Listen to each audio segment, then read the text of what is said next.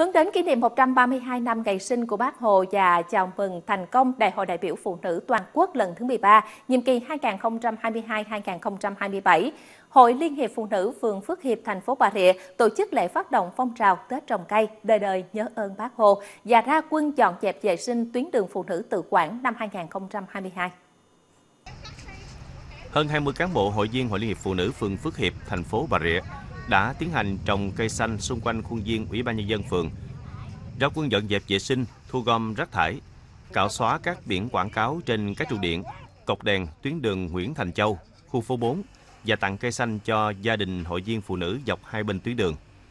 Đây là hoạt động có ý nghĩa nhằm nâng cao ý thức bảo vệ môi trường, giữ gìn vệ sinh đường phố của người dân, góp phần tạo cảnh quan xanh sạch đẹp ở địa phương, cơ quan đơn vị.